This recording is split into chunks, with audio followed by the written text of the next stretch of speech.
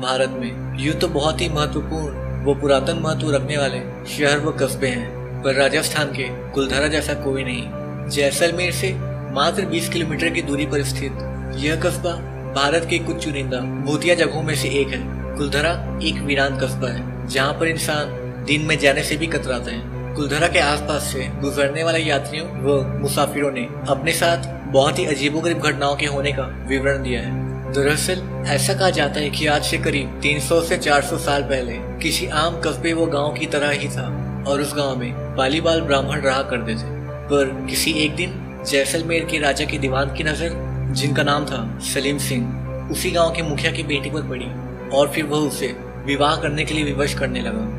पर पूरे गाँव के एक साथ विरोध करने के बाद वह उन्हें धमका कर बोला, या तो वह लोग मुखिया की बेटी को उसे सौंप दें, या फिर वह उस गाँव पर हमला करके उन लोगों को मार डालेगा। और इसी के चलते रातों रात वे सब गाँव छोड़कर वहाँ से चले गए और जाते जाते वे लोग इस गाँव को श्राप दे गए कि ये गाँव कभी आबाद नहीं होगा और जो भी यहाँ बसने की कोशिश करेगा, उन लोगों की मृत्यु किसी बीमारी से हो जाएगी। और यही नहीं, उन सब की आत्मा भी मरने के बाद यही भटकती रहेगी और तब से लेकर अब तक यह गाँव वीरान पड़ा है। तो दोस्तों, आज की हमारी कहानी इसी गाँव की है और इस सत्य घटना को हमने रेडिट से लिया है। और इसे पोस्ट करने वाले चैतन्य शर्मा जी के साथ ये घटना चार साल पहले घटी थी। तो अब आगे की कहानी उनके नज़रिए से।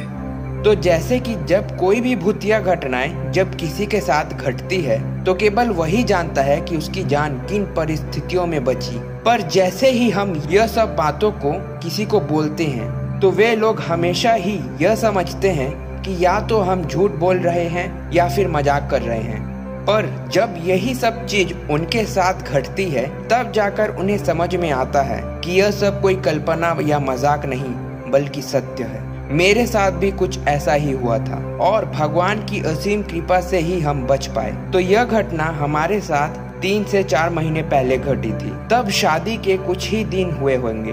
और मैं अपनी वाइफ के साथ कहीं घूमने जाने का प्लान बना रहा था। पर छुट्टियाँ न मिल पाने के कारण हम कहीं भी नहीं जा पा रहे थे। पर लकीली जैसे तैसे करके हमें छुट्टियाँ मिल गई। और यहाँ मैं एक और चीज़ आप सबको बोलना चाहूँगा, वह यह है कि मुझे और मेरी वाइफ दोनों को ही भूतिया पिक्चर्स और भूतिया जगहों पर जाने का बहुत शौक था। और इसी में मेरी वाइफ ने मुझे कहा, क्यों ना हम कुलधरा चले, जिसको कि भूतों का गाँव या शापित गाँव भी कहा जाता है। और उसके यह कहने के तुरंत बाद ही मैं गूगल में सर्च करके देखने लगा। और गूगल में उस जगह के कुछ फ़ोटो देखते ही मैं उस जगह का दीवाना हो गया। मुझे ऐसा लगने लगा कि मानो वह जगह मुझे अपनी ओर खींच रही हो, खैर, जो भी हो। इसके बाद मैंने वहाँ जाने के दो टिकट और होटल रूम भी बुकिंग करा ली। और जल्दबाजी में मैंने उस जगह का पूरा इन्फॉर्मेशन नहीं लिया, जो कि मेरी सबसे बड़ी गलती साबित होने वाली थी। टिकट कराने के तीन दिन बाद ही हम मुंबई से निकल पड़े। राजस्थान के कुछ खूबसूरत दृश्यों को अनुभव करने। राजस्थान पहुँचने के दो से तीन दिन के अंदर ही हमने जैसलमेर और उसके कुछ आसपास के गाँव को घूम लिया। और अब बारी थी कुलधरा की, जिसे देखने ही हम यहाँ पे आए थे।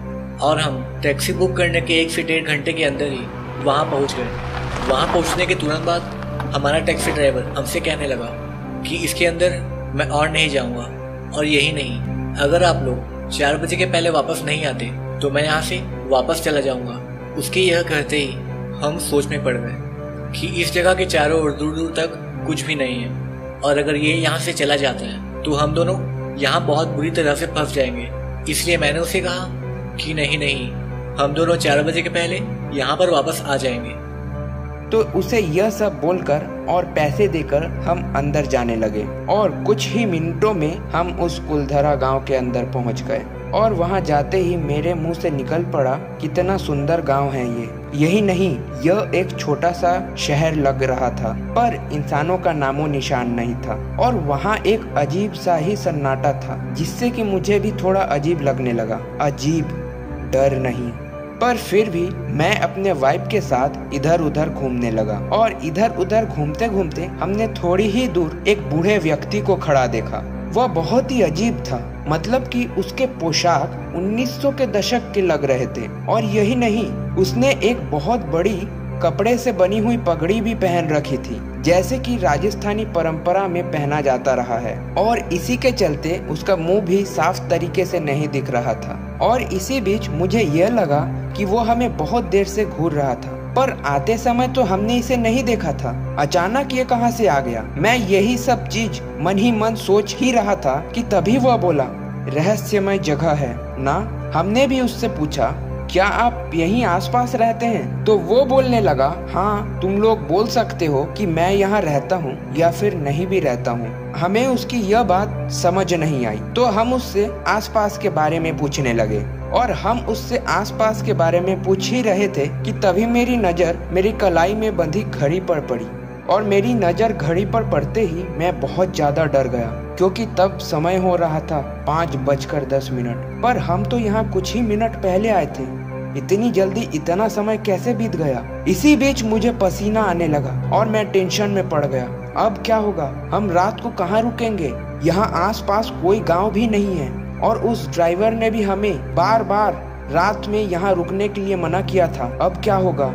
और इसीलिए हम उस आदमी से न चाहते हुए भी कहने लगे कि आसपास यहाँ रहने के लिए कोई जगह है क्या? हमें केवल आज रात ही रुकना है। तो उस व्यक्ति ने कहा, आप हमारी जगह पर रुक सकते हैं। तो हम भी एक बार में ही राज़ी हो गए, क्योंकि हमारे पास कोई दूसरा रास्ता नहीं था। वो आदमी दिखने में अजीब, बहुत ही ज़्यादा अजीब था। वो हमें अपने घर के रास्ते ले जाते हुए बोला, आप लोगों को डर नहीं लगता क्या? आप लोग इतनी रात यहाँ पर रह गए। लोग कहते हैं कि इस जगह अगर कोई शाम होने के बाद आता है तो वह वापस नहीं जाता। उसे वो लोग यहाँ से जाने नहीं देते। और यह सब कहते हुए वो आदमी हमें अपने घर ले जाने लगा और थोड़ी दूर चलने के बाद ही हम उसके घर पहुँच गए। वहाँ कुछ ज़्यादा ही अंधेरा था और जिसके चलते हमें कुछ ठीक से दिखाई दे ही नहीं रहा था और हम अपने साथ टॉर्च भी नहीं लाए थे, क्योंकि हमें पता था कि हम यहाँ से शाम ढलने से पहले ही निकल जाएँगे। लेकिन पता नहीं कैसे हम यही रुक गए। जैसे कि कोई शक्ति हमें यहाँ से बाहर जाने देना ही नहीं चाहती थी। और अब हमारे चारों ओर का माहौल इतना डरावना होते जा रहा था कि हमें तो बहुत डर लग रहा था। हम बस कैसे भी करके यहाँ से बाहर जाना चाहते थे। और इसी बीच वो व्यक्ति हमें कुलधरा के प्राचीन इतिहास के बारे में बताने लगा कि कैसे उस दीवान की बुरी नज़र उस मुखिया की बेटी पर पड़ी और फिर क्या क्या हुआ। और इसके बाद उसने कहा कि इस गाँव के लोग कहीं चले गए या कहीं गायब हो गए, ये किसी को नहीं पता। और उनका इस गाँव को दिया हुआ श्राप आज भी कायम है। और यही नहीं, अगर कोई व्यक्ति यहाँ एक रात भी बिताता है तो अगले दिन उसकी लाश ही यहाँ से बाहर निकलती है। और उनकी ये सब बातें सुनकर हमारा डर और भी ज़्यादा बढ़ गया। पर हमें एक चीज़ का सुकून भी था कि हम कुलधरा में नहीं, बल्कि उसी के आसपास के किसी गाँव में हैं। तो शायद हमें कुछ नहीं होगा। और यह सब कहकर वो बूढ़ा आदमी वहाँ से जाने लगा। पर जाने से पहले वो हमसे बोला, ज़्यादा मत डरिए साहब, चुपचाप सो जाइए। क्योंकि अभी तो आपके साथ बहुत कुछ होना बाकी है। और यह बोलते ही वो वहाँ हमारे आँखों के सामने से गायब हो गया। हाँ मैं सच बोल रहा हूँ। धुंधला धुंधला ही सही, पर सच में वो वहाँ से गायब हो गया। और यह सब देखकर मेरी वाइफ वहीं पर रोने लगी और मुझे बोलने लगी, यहाँ से चलते हैं। पर इतनी रात को इस अंधेरे में हम कहाँ जाएँगे? अगर हम और किसी बड़ी मुसीबत में पड़ गए तो? यह सब सोचकर ही मैं जैसे तैसे करके वहीं रुक गया। और थोड़ी देर बाद ही हम दोनों वहीं पर सोने की कोशिश करने लगे, क्योंकि हम बहुत ज़्यादा थके हुए थे और हमें कमज़ोरी भी महसूस हो रही थी और कुछ ही देर हुए होंगे, जब हमारी आँखें लग गई। तभी मैंने सुना, कोई व्यक्ति धीरे धीरे हमारे घर का दरवाज़ा खोलने की कोशिश कर रहा था। और यही नहीं, वह दरवाज़ा खोलकर कुछ ही सेकंड्स में अंदर भी आ चुका था और उसके अंदर आते ही मैं वहीं हड़बड़ाकर चिल्लाते हुए उठ खड़ा हुआ और इसी शोर के कारण ही मेरी वाइफ की भी नींद टूट गई और इन सब के बीच वो व्यक्ति जो हमारे कमरे के अंदर तक चला आया था, वह भागने लगा और उसे भागता देख पता नहीं मुझे क्या हुआ। मैं वहीं पड़ी एक लकड़ी का डंडा लेकर उसके पीछे भागने लगा। यह सोचे बिना कि मैं शायद अपनी ही नहीं, बल्कि अपनी वाइफ की भी जान मुसीबत में डाल रहा। हूँ और उसके पीछे भागते भागते मैंने देखा कि वह व्यक्ति अचानक ही कहीं गायब हो गया और उसके गायब होते ही तब जाकर मुझे समझ में आया कि यह मुझे वहाँ से बाहर निकालने की कोई चाल थी। और यही नहीं, वह आदमी भी कोई आदमी नहीं, बल्कि कोई बुरी शक्ति थी। और इन सब बातों का ख्याल आते ही मैं अपनी वाइफ के पास जाने लगा, जो कि वही थी जहाँ हम दोनों रुके हुए थे। और वहाँ पहुँचने के बाद मैंने अपने वाइफ को पूरा मामला बताया और इसके तुरंत बाद ही हम दोनों ने डिसाइड किया कि अब हम एक भी पल वहाँ नहीं रुकेंगे। और फिर हम दोनों वहाँ से भागने ही वाले थे। इसी बीच हमने देखा कि वो व्यक्ति, जो कि कुछ ही देर पहले हमारे घर के अंदर घुस आया था, वही अब हमारे घर के दरवाजे को रोके हुए खड़ा था। और यही नहीं, अब तो उसके हाथ में एक लंबी सी तलवार भी थी। और इन सब बातों में, जो सबसे भयानक बात था वो यह था कि उस व्यक्ति का मुँह दो हिस्सों में कटा हुआ था। मतलब कि वह कोई इंसान ही नहीं, उसी जगह की कोई दुष्ट आत्मा थी, जो कि अब शायद हम दोनों को मारने आई थी। और इसी बीच उस भूत ने अचानक ही मेरे हाथ के ऊपर तलवार से हमला कर दिया, जिससे कि मैं वही ज़मीन पर गिर गया। और अब मुझे पूरा यकीन था कि आज मेरी ज़िंदगी का आखिरी दिन है। और तभी मेरी वाइफ ने उस व्यक्ति के ऊपर देवी माँ का सिंदूर डाल दिया, जो कि हमारे बैग में था, जिससे कि वो वहीं पर चिल्लाने लगा,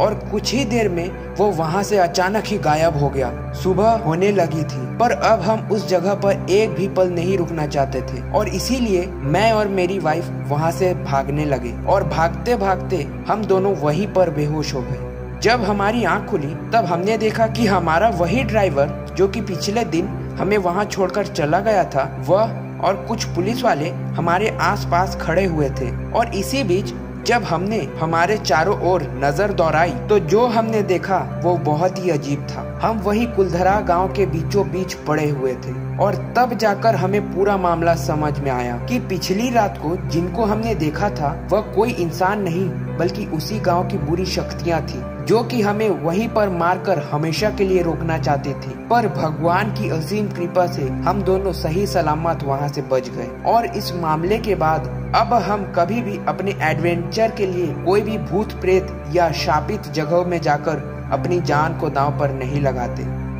तो दोस्तों, यह थी आज की हमारी रियल स्टोरी जो कि चैतन्य शर्मा जी के साथ घटी थी। इस मामले में उनकी जान जाते जाते बची थी। तो आप सबका क्या कहना है इस पूरे मामले पर? आप हमें कमेंट सेक्शन पर ज़रूर बोले।